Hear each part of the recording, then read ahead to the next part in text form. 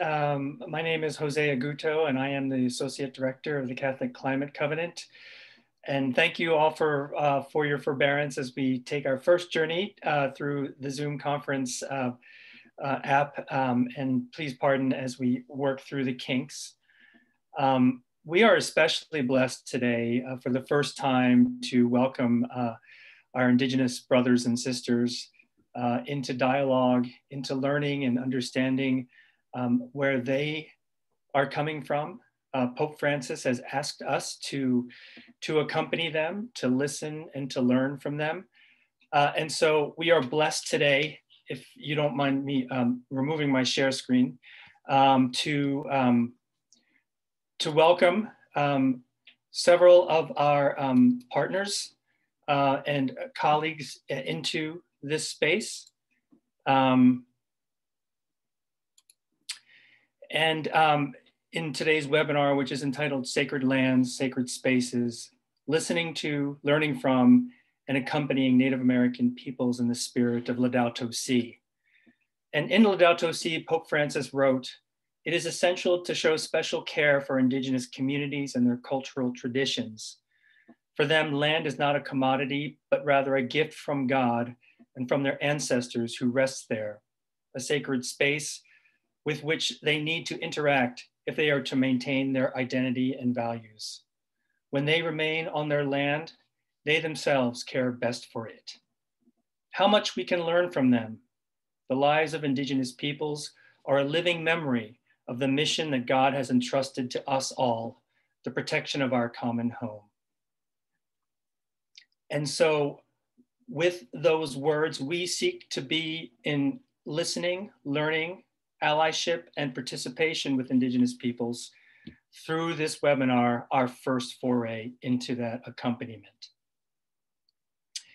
And so we begin with a prayer, which I'll bring up on my screen.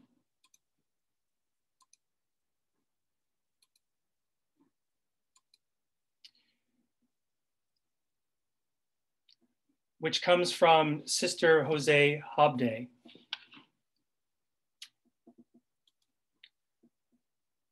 And so let us take a moment of silence to bring ourselves in the presence of our Creator. In the name of the Father, and the Son, and the Holy Spirit, amen. O great God, you give me this day as a special gift. In taking this step into the day, I accept everything it will bring, whether part of my plan or not. Teach me to accept every gift that comes my way today.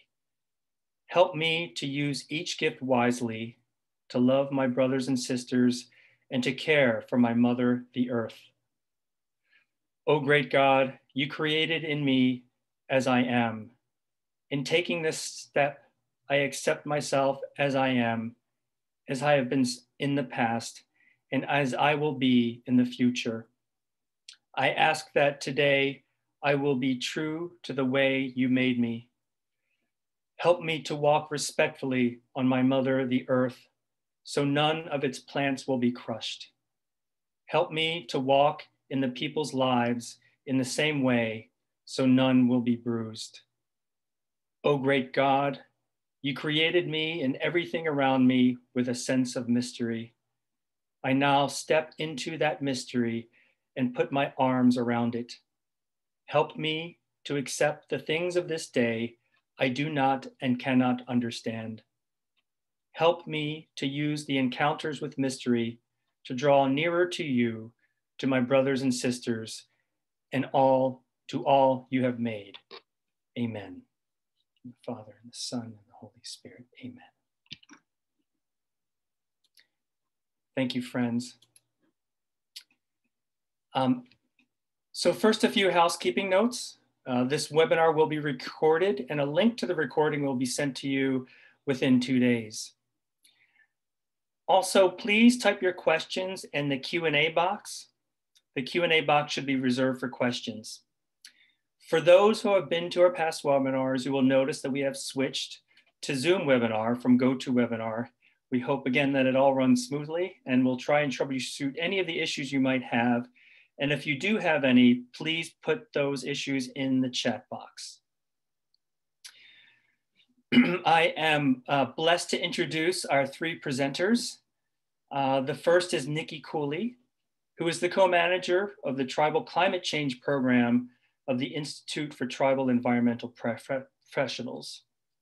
She is of the Diné tribe by way of Shonto and Blue Blue Gap, Arizona, and she'll tell you more about her ancestry during her presentation.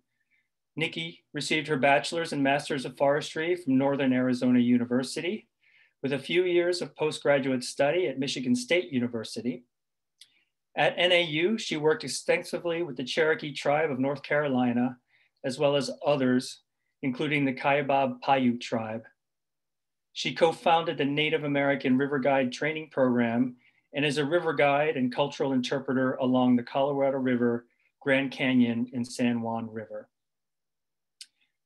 Second, I am blessed to welcome Deb Echo-Hawk, Pawnee Oto, also known as the Keeper of the Seeds, and works for the Pawnee Nation Division of Health and Community Services, Elder Meals, and Caregiver Support.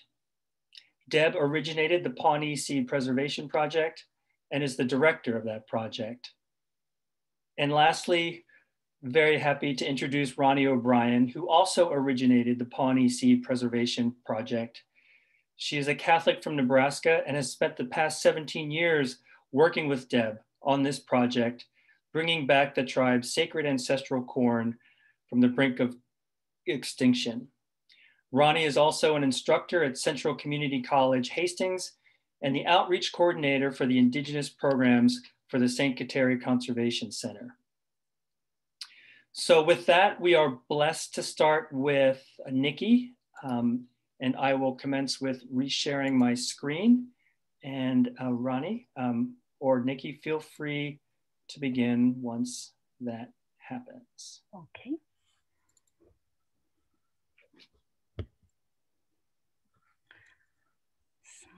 Good. Well, thank you so much, Jose, and everyone else.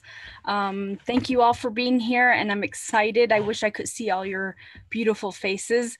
Um, as uh, Jose um, introduced me, um, I'm to talk a little bit about tribes, climate change, and a little bit of the culture um, and how all that is um, interconnected. But first, I'd like to introduce myself in the Navajo way, the the neck etcher. So on the next slide, um, you'll see my my clans. Um, I am Kinya'ani. Um, we're matrilineal, so everything goes through our mother's lineage. My brothers and sisters and I have the same um, clan. Have the same clan. Um, my mother's on the left side. My um, my my grandmother is on the right side with my daughter. So we are all Kinya'ani Towering House clan. And on the next slide, um, so I'm of the Towering House clan and I'm uh she uh look at the net e bashishin uh the to head lini the net e uh the sana e dash nada a kot awe the net a sana So I'm of the Towering House clan born for the Reed people clan and uh my paternal grandfathers are from the water that are many goats clan. Maternal grandparents are uh, from the water that flows together clan. And i come from shonto and blue gap arizona where i grew up um, speaking navajo and planting corn and everything. So in the background is my mother's um, cornfield which has which um, used to be um, at least five miles in size. Um, we've greatly downsized it um, due to the drought conditions that we have. But it's important for us to introduce ourselves in the Navajo way uh, because we acknowledge the, the natural environment, our relatives that are, um, you know, the elk, the, the eagles, the hawks, and the even the ants and whatnot. So, um, on the next slide, I'll talk a little bit about my um, climate change program that I do with the Institute for Tribal Environmental Professionals. For short, we call it ITEP, and we're based out of um, Flagstaff, Arizona at Northern Arizona University. Um, but um, and we've been around since 1993 actually um, we have air quality we have waste and response working on brownfields uh, superfund sites we have pesticides, we have water council, we have a program that works with K through college students. And, um, but the climate change program was created in 2009 to assist tribes in addressing climate impacts in their communities. And we do this through in-person trainings, online webinars, uh, we provide direct one-on-one or group assistance, technical assistance. Um, we work with individual tribes or we, we work with many partners across the country, including academic, federal, um, nonprofit, uh, for-profit entities. Uh, but our main partners are the tribes and we do a ton of outreach like i'm doing today um, on what is going out uh, what is going on in um, the world. So to date, we have served over, I believe, 300 representatives from the different tribes and agencies and organizations. And our goal is to work with all 574 federally recognized tribes. But with that, we also work with state recognized tribes as much as we can. Um, so we're primarily, actually, we are 100% grant funded. Um, we are looking for more diverse funding um, because um, everybody is really looking to use federal funding to build their climate programs. Um, my program is fi primarily funded by the Bureau of Indian Affairs. They have a tribal climate resilience program that specifically funds tribes to build their capacity to address climate change. Now, I'm trying to help them find implementation funds to actually do the work on the ground. So on the next slide, I want to show you just a list of people who are on our advisory committee.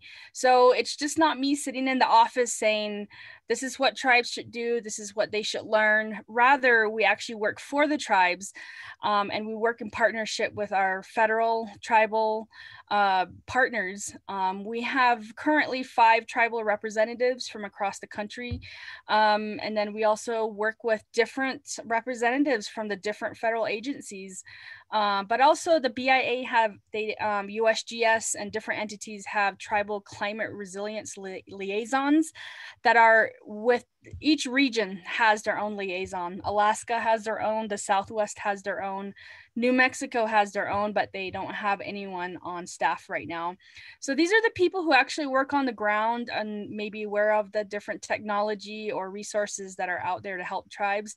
And uh, we actually, and then they kind of inform our work. So, and out of this program since 2009, when I started, there was very few tribes actually working on climate change per se because climate change was not funded uh, readily as is now. Um, I would have to say the Obama administration really jump started that process by giving money to the BIA uh, Tribal Resilience Program. And um, um, now it's like every tribe is really trying, every tribal community really wanting to build their program. And so on the next slide, you'll see just a little bit of, of a snapshot of all the documents that are out there tribal adaptation plans, and climate assessments, vulnerability assessments, as we call them. These are living documents that are created by the tribes or their partners. Um, so, for example, the Swinomish tribe actually was doing it way before 2009 when our program was created, having their tribal leadership say that there was a climate crisis, and they actually started addressing it in the early 2000s. And they're working to rebuild their clan gardens, and they're working in conjunction with their tribal elders, their community members, to bring that um, back to the people and they're located in uh, the Puget Sound in uh, um, Washington State. So these are there's a ton of there's a ton of plans out there now. Now there it's growing. That we have a list of 60, maybe a little bit more that I'm not aware of, but these are slowly being created to say, hey, this is what's going on on the Confederated Salish and Kootenai tribal lands, and this is how we want to address those impacts like wildfire, bark beetle, and so on. Beaver rest habitat restoration and so on but you can find that on the itep website if you and i'll make sure to put it in the chat box um, in a little bit. Um, but yeah so that's kind of the tribal adaptation plans. You can view it. You can see what tribes are doing. Some are more technical some are more culturally um, focused um, and whatnot. So, and others have a good cross between the traditional and modern um, knowledge. So, on the next slide, I'll show you. I, I, I I'm sure I don't. Um, um, if you let me see if you press it again, Jose, the other pictures might come up. Um, yeah. So the the the I probably don't have to tell you about all the climate impacts that are happening. You probably have experienced it. You have heard about it in the news. Nashville is was flooding or still is flooding just re- just as recently as a week ago. Um, so there's a lot that's going on around us, and it's happening so much in the news. We're kind of desensitized to it, like it happens all the time. Um, for these tribal communities, which is my focus. Um, we're experiencing some of the, these impacts almost all at once um, and whatnot in in the same year or in the in the course of a few months and whatnot. So we're really and we have a small land. We all have smaller land bases, so we're really trying to see how we can preserve the environment um, as best we can. And on the next slide, you'll see a few more of the photographs. Um, I just want to notably say on the left hand upper left hand corner, um, they're they're becoming really extreme. I'm 41 years old, and uh, where I live has it's always the Southwest is hot, but where I live here in Flagstaff, but also where I grew up, it wasn't always as hot as it usually is down south. And last summer, I cannot. Maybe I'm getting soft, um, but it was so hot. Um, it was unbearable. I couldn't believe how hot it was. Um, the wells are drying up. We have to reduce our uh, livestock, sheep, goats, horses, because we can't really afford to drive 35 miles one way just to haul water for them. A lot of us don't have the water infrastructure, but that picture in the upper left hand corner, another um, impact are uh, these sand dunes that are so the soils aren't being stabilized by the plants that are that used to grow strongly due to the consistent rainfall and the water tables but those are decreasing so now we don't have the plant life to stabilize the soil. So we're having a lot of these sand dunes these wind events that are blowing sand and creating barriers for people to go in and out of a, a community or even uh, grandma and grandpa who live out in the rural area that have just one way in and out. So there's there's a lot that's going on, and I could go on all day about it.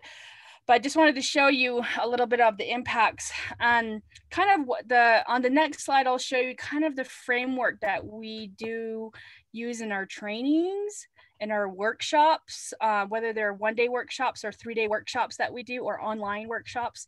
Uh, we follow this framework kind of like a, a five step process and we call it the Sadie process. Um, and and it's um, phase one, phase two, phase three, phase four, phase five. There's a lot of other institutions that have uh, kind of a framework. Some are seven steps, some are five, some are three.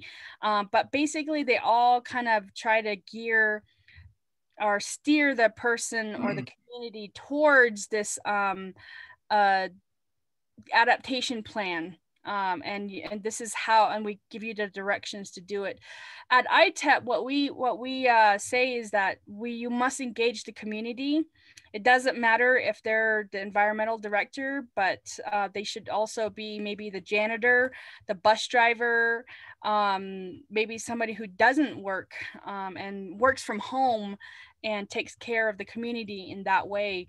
Um, and but we also use traditional knowledge, indigenous knowledge, or local knowledge, as we call it. Um, and we also call it living document. We should never gather dust. So this is kind of the framework that we we we um, propose to people to use. And I'll send another link where you can find um, all the documents to our adaptation toolkit that we provide to tribes. So now I'm going to give you a few examples starting on the next slide with um, show you what tribes are doing out there. The Quapaw Nation of Oklahoma, they are writing, they have written a tribal hazard mitigation plan, and I believe they're going through a revision process. And they're in Northeast Oklahoma, very small community, um, kind of checkerboarded by private lands, um, uh, non-tribal lands, trust lands, and um, they have been experiencing a ton of flooding in the past few years. So on, in their plan, they're actually focusing on the, the, the list that you see above, expansive soils, subsidence, uh, flooding, severe weather, um, even more to- tornado warnings, wildfires um, and they're focusing on these because they're the most immediate um, they have the most immediate impacts on the community members especially the vulnerable um, uh, members of our community so and then on the next slide there's another tribe in north central wisconsin called, called the lac du flambeau tribe who um, are writing um, or have written and just released a multi-hazard mitigation plan. Um, and this is i think you'll find it interesting because in addition to the environmental impacts they are also focusing on the illegal drug crisis. There's a lot of opioid um, um, there's a, a, an epidemic of opioid users up there. So and then also school violence and armed attack. Um, so they're really focusing on that and i thought that was very unusual because other tribes don't know that you can actually include those things. So they're focusing on really how the uh, on, on other things other than the environment. Because if you have um, you know emergency services that are concentrating on one impact and then something else happens down the road um, you you need to have a plan of how you will disperse emergency services to help that emergency down the road. So um, and then on the next slide i really like their one of their quotes um, for the tribe natural resources and cultural resources are our natural resources are cultural resources so they don't separate those. Um, and it's an integral part of the environment, the community, and it helps it thrive. Um, that when I was reading this plan, it really struck me, and I really appreciated that um, that that quote. On the next slide, up in Alaska, the Oscarville Tribal Climate Adaptation Plan, there are about over 260 tribes up alone in Alaska, villages, tribes, and um, they're all writing adaptation plans. And this is one of the adaptation plans that really struck me because of the artwork. So they're really infusing their tribal culture, their whole being of who they are, their identity into their plan. So they make a lot of references to the traditional stories, the animals. Um, you'll see that photograph, and a local artist is the one that created it. They use a lot of quotes from the community members um, and in the native language, but also in the English language. Um, but it's a holistic approach, and they really, really included the community in every step of the way. Um, they there's not they didn't find a word for resilience in their Yupik language. So what they did was they came up with a word that translated uh, resilience into the Yupik language. So um, I thought that was really neat, and it's online. You can um, read it um, at your heart's leisure. Um, on the next slide is the up in Maine, the Aroostook Band of Micmac Indians, very small community, beautiful.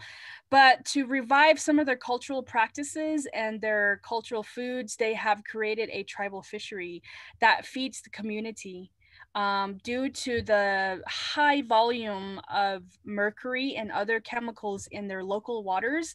So they stopped eating fish a long time ago. And now the tribal fish hatchery is allowing them to gather uh, this was post pre pre pandemic but and they plan to do this post pandemic too that to gather and tell stories and to be with each other and maybe sing some songs um, but really reviving that tribal culture again uh, and bringing it to the community. But also they sell a lot of their local foods um, to the local restaurants that are off the reservation the the wastewater from the tribal fish hatchery actually feeds the garden that you see. It's the it's fabulous. It's an amazing garden. And then on the next slide um, we'll go to uh, northern california the yurok tribe who have i think they just recently um, gave a personhood uh, rights of personhood to the klamath river and they're trying to take down a dam um, that is has blocked their traditional food of salmon um, and their adaptation plan heavily relies on the the elders, the community or the cultural committee, and the, their number one priority priority, as you see up there, is to protect and to preserve the Yurok language and culture, because culture. Remember, culture and uh, natural resources are one and the same to all, all these tribes. And the next, uh, the next one is another tribe in the Spokane, Washington region.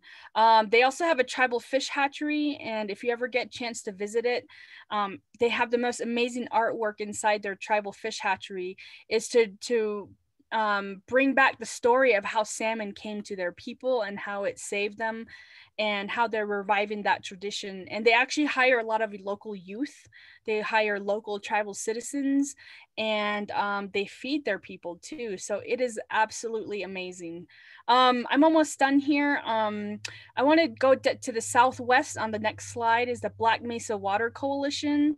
And if you go ahead and press the next, um, yeah, that one is, um, they're doing, they're an organization which actually helped um, put pressure on the community of Navajo and Hopi to uh, hold Peabody Coal Company responsible for using a lot of the aquifer water and also polluting the area where they closed down the mines at.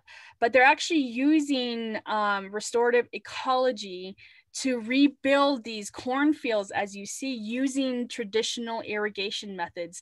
There are no tractors, there's no backhoes out there, just the young people and the older people um, working together to build that up. And on the next slide, um, their whole purpose is to bring back the food system eh means family, relatives. And so they're really bringing that to the small community of Pinon and Hard Rock. They're very dry communities these days. Um, and but they're really working with the local elders and bringing back those practices of butchering sheep, cooking corn the traditional way and getting and telling the stories along with it. Um, and on the next slide, I just want to also mention um, my children's school. If you press it a couple more times, a couple more pictures will show up. Is the STAR School? It's called Service to All Relations. It's the first off-grid school in the nation. totally run by solar and wind power. They have their own well. They compost. They butcher.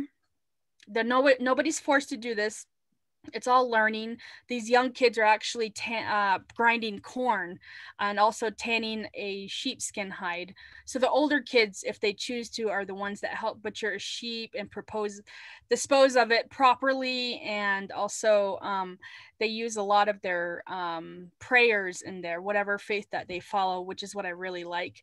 But also they gather a lot of the um, local foods and whatnot. And it's all in, in, in, in hopes of teaching them to you can go on to the next slide to acknowledge all living things um, all living um, beings and whatnot. So that's really important. That spider woman she taught my people how to weave and to survive the cold winters.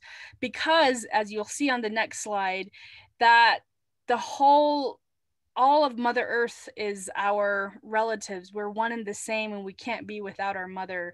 And our faith is heavily intertwined, interconnected with the earth. And I just want to say, and I was telling Jose and the others that um, this is a, a process of healing for me in a way to present to you all because of the history that I personally have, but the history that I have with my people have with the church and whatnot. And I have every faith in my family represented and I have never spoken a bad word about them. And it's all about healing and understanding that we all have to come together to protect the waters, the earth, the sky, and all our animal relatives and whatnot. So, um, with that, I'm done with my presentation, and you can go ahead and give us, um, if you don't mind going back one slide of. Um, you can contact us. So I really appreciate it. And I will pass the torch on to um, Ronnie or Deb. So thank you so much. And um, thank you. Oh my gosh, Nikki, that was just so inspirational on so many levels. Um, and wanting to move on to even further inspiration and, and bring Ronnie and Deb uh, to present. Thank you.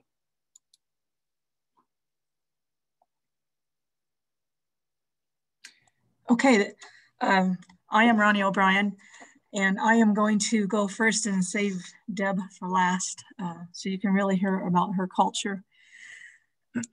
so um, this beginning slide that I'm starting with, uh, thank you for this opportunity, uh, by the way. This is a large number of participants, I can hardly believe it. Um, it's, it's wonderful to be able to share this story.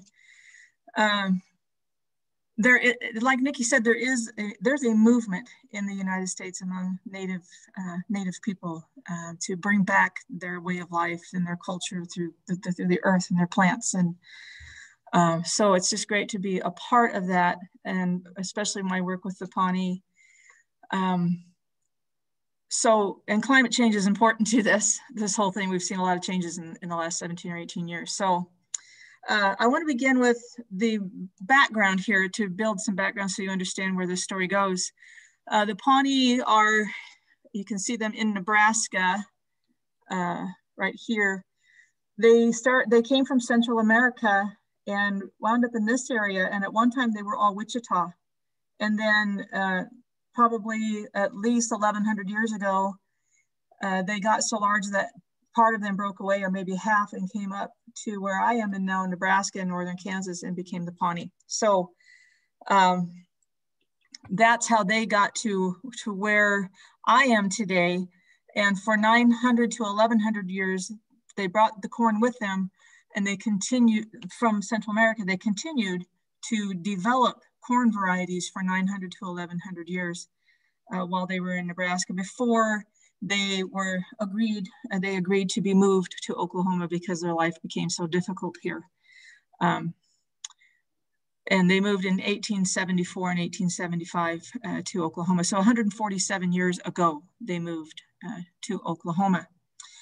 Um, if you want to go to the next slide, uh, I first met Deb Echo-Hawk when I was at the Archway. I was the director of education. This was a national um, trails attraction that's in the middle of Nebraska about all of the westward migration trails uh, that the settlers followed. And we opened in 2000. And from the time that we opened, I had people coming to get me as the manager to speak to someone. And it was a native person usually uh, that would say, you do a great job of telling the history of everything, uh, all of the routes that came through here and all this wonderful history, but you're missing at least a thousand years and you really need to do something based upon Native Americans. So it took a while, but in 2003, I finally decided it was time to start a program uh, about Native Americans, and I wanted to have it be about the Pawnee because we were in their homeland and they were they had a large territory, so I knew it would encompass, most of Nebraska, at least, and, and some of Kansas. And I wanted to have corn as part of it because I had read about the Pawnee. Actually, my husband's ancestors, the O'Briens, settled nine miles from where we are in 1861 and became very good friends with a Pawnee chief. Uh, and I learned all about them from uh, the chief from my husband's grandpa who lived to be almost 100 and he talked about it for 11 years. He, uh, he knew his grandparents well. So I had two reasons to really want to contact the Pawnee. I knew nobody that was Pawnee. They're, they're gone from our area, central Nebraska. The, uh, it's a very minimal uh, population of, of, at all of natives. So I decided to call. I had no idea where the Pawnee were. I found out they were in Oklahoma and uh, called to see if I could have someone, I decided if I was going to start a program about the Pawnee, instead of reading what some white man wrote 100 years ago, I wanted the Pawnee to help me create that program if they would, and teach about their own culture in their, in their homeland.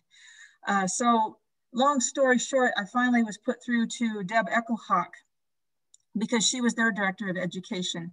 And they didn't know who else to have me talk to because I wanted to have a garden as part of it and they didn't know anything about how they might do that uh, because there just wasn't much left. Uh, so I, they put me through to the absolute perfect person, Deb. We talked for one hour. And at the end of that one hour, I grew up on a corn farm in the middle of Nebraska. At the end of one hour, I knew that my relationship with corn and land was nothing compared to the relationship that Deb and her tribe and her people had with the corn and the land the true corn and land of Nebraska. Uh, so she asked me if I would be willing. Uh, I, I, I asked if she had corn I could grow to show fourth graders in Nebraska what a garden would look like planted the uh, traditional way. And the next slide will show that, how the Pawnee planted corn. And I learned from her that there was hardly anything left, um, a mayonnaise jar of one variety and a handful of seeds of another. And that was all they had left of their um, 13 to 19 varieties that they had at one time in Nebraska. And she asked if I would be willing to try to bring them back, uh, if she could get the culture committee to agree to ask people to submit seeds to bring uh, back to, to send up to Nebraska. So uh, that happened. And in 2004, the first seeds were sent up. She sent up only 25 Eagle corn seeds, which you'll see later. Uh, and someone sent up a, a checkbox from their checkbook of a yellow corn. And those were the two varieties that we started with growing. Um, and on the side, if you had time to read it, is how the Pawnee planted corn. Nothing like corn is planted uh, today by the large equipment in long rows in Nebraska. And this is honestly how this corn grows best. If you plant it this way, you will have much more success than planting it in rows. So there are thousands of years of working with it really taught them well how to work with it. So I'm Catholic, Deb is not, the Pawnee Nation is not a Catholic tribe at all. Um, and for a lot of tribes, there's there's some bad history with missionaries and, and the Catholic Church. And uh, so it's been a very careful walk uh, working with, with the Pawnee. Um, but Deb was receptive from the very beginning. And you know, we never really even talked about my Catholic faith. That was a non-issue. That was a non-subject. I wanted to learn about her culture and her people. And she taught me volumes. And of course, I, then I've gone to Oklahoma twice every year that I could uh, with no COVID since then. So I've really become very familiar with the tribe. Uh, and we have a great deal of mutual respect for uh, each other. So the next slide shows that three years after we started working together, Deb and I actually met. This is in 2006. And there was no Facebook yet. And there was no way you could send a picture on a phone. So when we met three years later, and I we had already grown corn for three years for the tribe in Nebraska, we had no idea what we looked like. So this was a big deal when she came to Nebraska. Uh, and we actually got to meet and she got to go to some of the cornfields. She got to see some of the corn in the field. And for the, the Pawnee, the women were the ones that grew the corn. So uh, such a disconnect after 174 years and hardly, you know, the corn was almost gone and nobody was growing it anymore. So for her to come back and see the corn in the fields in Nebraska, that was a, a, a really big event uh, for us. Uh, so on the next slide, this is in 2013. So this is 10 years after we met. Um, and Deb and I are standing outside of a cornfield where I was working at the archway at the same place. In the center is the eagle corn. And you can see in the center of each one of the kernels, a flying eagle.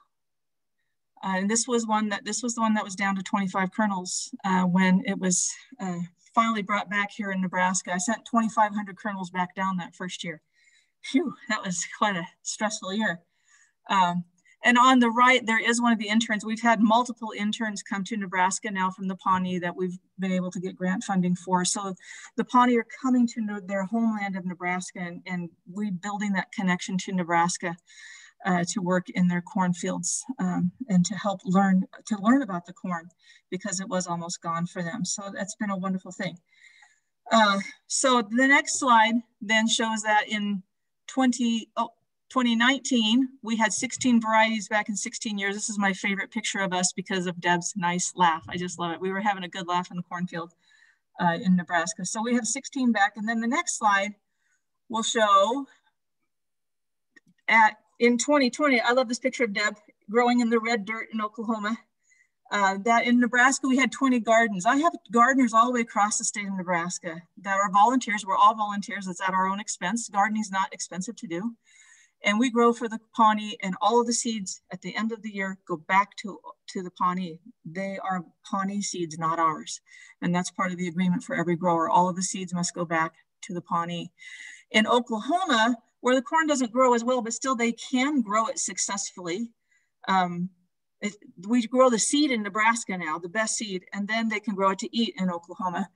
it's not always successful, but most of the time something is. Uh, so there 14 different people checked it out of their seed bank because now they have a seed bank in Oklahoma for the, the tribe that, that Deb heads up, which is really neat.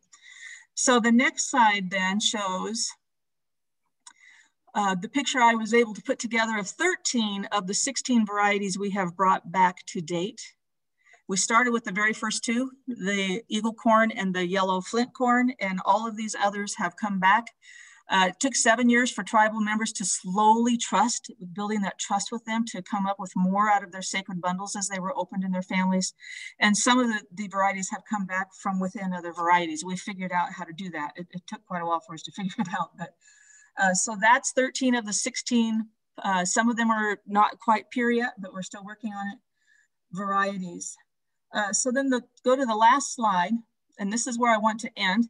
Um, in 2015, two years after I had my, uh, my terrible two-year eye injury, um, my faith grew tremendously, my Catholic faith during that injury, as you might all imagine. And uh, I was supposed to lose my eye four times in two years, and I never did. And my faith really brought me through that. So in 2015, I heard about a program Loyola University was starting in our diocese, our Grand Island diocese. Uh, so I joined that. For three years, we met every Tuesday night. And in 2015, one night, the instructor came and said, Ronnie, you should read this new Laudato Si that Pope Francis wrote.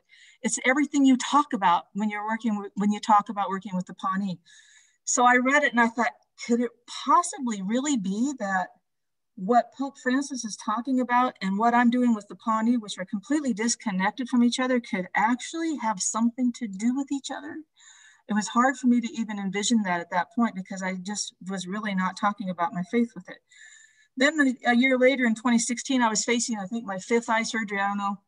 Um, and I was working with corn and I couldn't figure out something that was happening with it. And I heard it was St. Kateri's feast day on EWTN. So I said my rosary on the way to work and I just prayed very quickly to her, please help me to figure something out that I've not been, and no expert can help me with this. And when I got home that night, there was my answer. Uh, and St. Kateri has been there for Deb and I over and over. And Deb is uh, a, a, big, huge fan of St. Kateri. And she is the Pope Francis also, by the way, uh, which I love. So and I'm now also the volunteer coordinator for the St. Kateri Conservation Center, um, which I started working with in 2019, hoping to do this same type of thing with other tribes and with Catholic lands in the United States.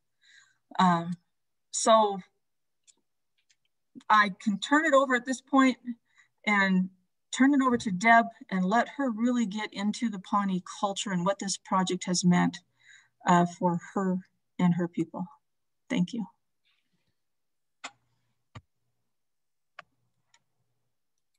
Thank you so much, Ronnie. Um, Deb, please. Thank you, Jose. I appreciate being here. And uh, my name is uh, Joshua Hukut. It means uh, she led a horse inside to be given away, referring to inside the Earth Lodge. Um, I'm calling today from um, the uh, relocated lands and for the Pawnee, Oklahoma uh, people. And uh, I, I am the keeper of the seeds for the Pawnee. Um, I love working with Ronnie. We actually adopted her um, and uh, gave her uh, a Pawnee name that means little corn sister uh, which is what I've been calling her for years. Um, but um, I just thought I'd share a little bit about uh, what has inspired me and talk a little bit about our culture. Um, my mother was the English lit major in, in college. And um, so when I was uh, seven years old, I memorized uh, a poem that has stuck with me, and it is uh, Flower in the Crannied Wall. I pluck you out of the crannies. I hold you here, root and all, with my hand, little flower. But if I could understand what you are, root and all, and all in all, I should know what God and man is. So that really has stuck with me. Um, I grew up uh, in gardens. My mother was a great gardener, built forts for us out of the, the flowers and um, and um, gardening just has always been something that I, I have always done.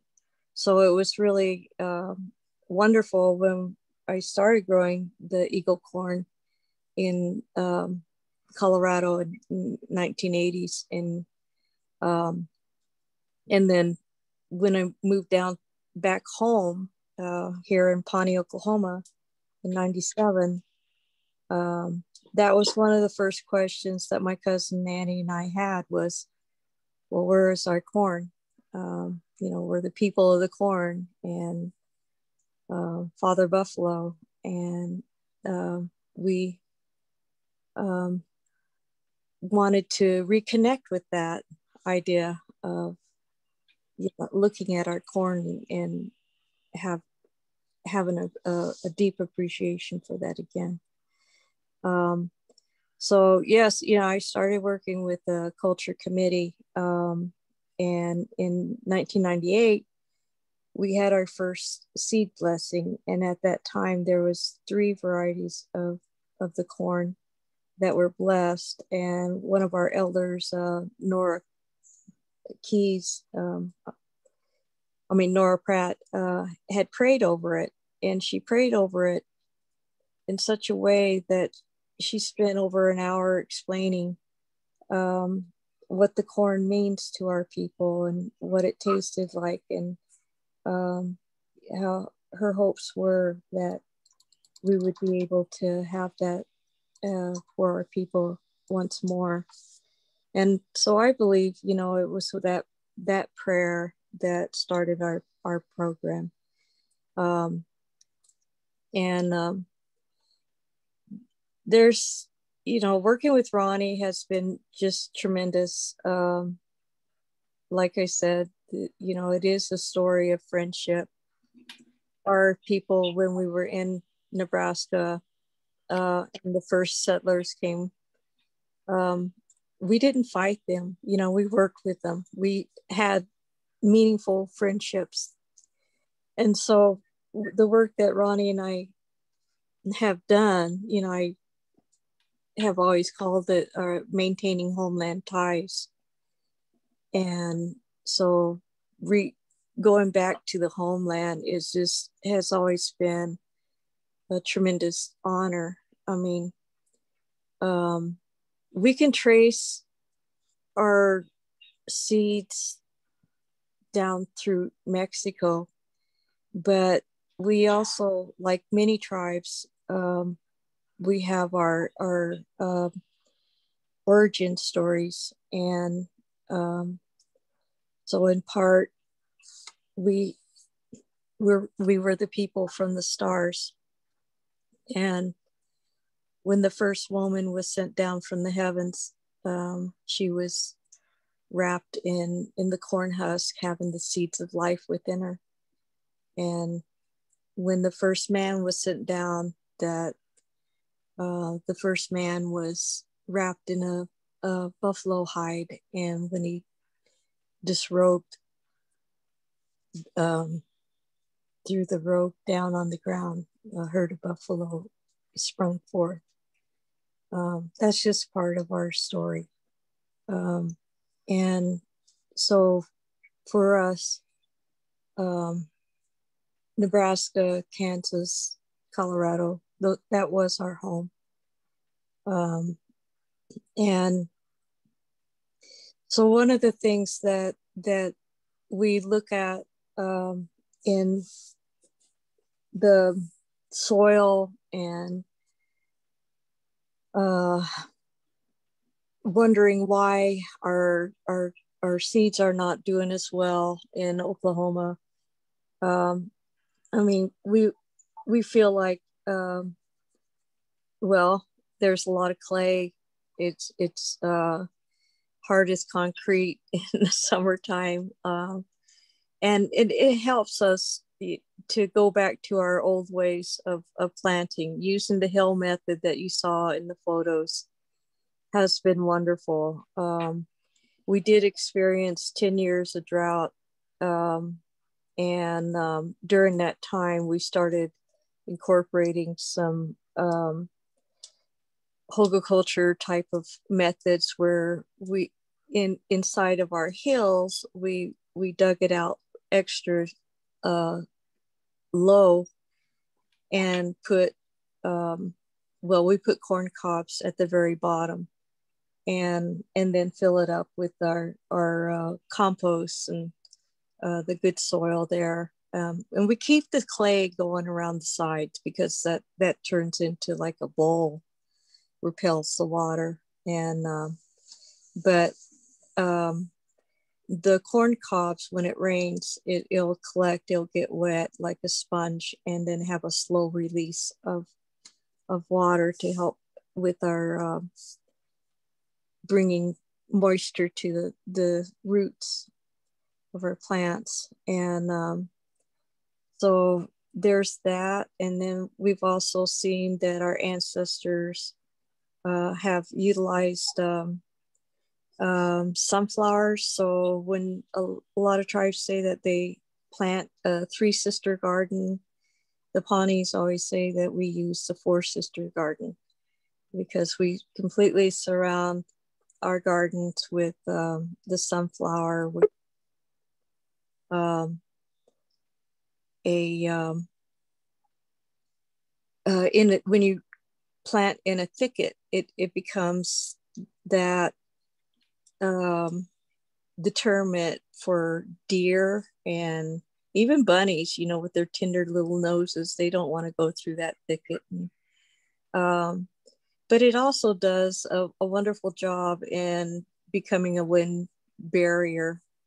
Um, and Ronnie can tell tell us uh, how many days in a row there's 45 mile an hour winds, and last year it was 17 um, where the wind just didn't seem to want to let up.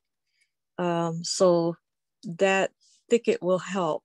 You know, it helps uh, control that that environment so that our seeds will pollinate um, successfully. Um, so I want to talk a little bit. You know, our culture is real important. Uh, we we don't have a feast without our corn. Um, we do um, look forward to the day that we're able to feed our people uh, more successful than we have and you know honor our elders our ancestors by doing so. Um, and so we do have new hope for old crops. Um, in working with Kateri, um, that's that's a, a real for us. And um, i guess i kind of surprised ronnie at one point when um, she had told me about kateri. I, I told her that we spent two years praying once a week. We would do our rosary and and uh, you know we had one pawnee woman uh, that was catholic. And and she was also on our culture committee you know so she knew how to compartmentalize very well um, feeling very comfortable and going to mass and then turning around and going to ceremony with our our Pawnees. So I, I am not Catholic, um, but I have been influenced by Catholics all my life. Um, and uh, told Ronnie I think I'm I'm a Catholic wannabe, but we spent two years going to Marlene's house and praying for Kateri. Um, and there's a lot of of people um, in Indian country, natives that that pray for Kateri. In in my own family, my my sister, um, her mother um, Mary Shanatona um, even had the diocese uh, uh, appoint her to go um, to the Vatican um, for the beatification where they were able to say, Kateri, you are blessed. Um, and that was a huge honor for our family for her to go. And she took her uh, um, granddaughter with her, and her name is Kateri. Um, so huge meaning in our our, our lives. Um, the Laudato Si is um, a doctrine that we also have great hope for, you know, but, you know, in Indian country, there's a mass of hurt and healing that that needs to be take taken care of. And uh, some folks that i've talked to recently they said wouldn't it be nice if in this healing before we go on into the future with Laudato Si, that Pope Francis will take a moment to address the doctrine of discovery, which was the principle of international law dating in the 15th century and its roots in the uh, papal decree issued by Pope Nicholas V in 1452 that specifically sanctioned and promoted the conquest, colonization, and exploitation of non Christian territories and people. And hundreds of years of decisions and laws continue right up to our own time can be ultimately traced back to the doctrine of discovery. Laws that invaded or ignored the rights of sovereignty and humility, humanity of indigenous people in the United States and around the world. That would be nice for him to address that and say, we can, you know, that was a doctrine that was wrong. But let's look into the future. Let's protect our seeds. Let's protect our plants, our soil, our water. Let's come to a seed consensus where we'll be able to say that that is important for our indigenous people to be able to not live in fear from the GMOs and seed piracy. Um, and even with our our chiefs that we have now, you know, I have eight chiefs that look over our program they they don't allow us to give out our seeds. And and we have beautiful seeds. We have uh, collected the the data behind them the plant growth characteristics that show the uniqueness of the seeds. We've we've done the the nutritional test the the DNA testing and we know that um, god gave us a beautiful seed that is very valued um, so where did we go wrong, you know, with this GMO? Why is, you know, we, we don't have the nutrition that um, that our native people now have.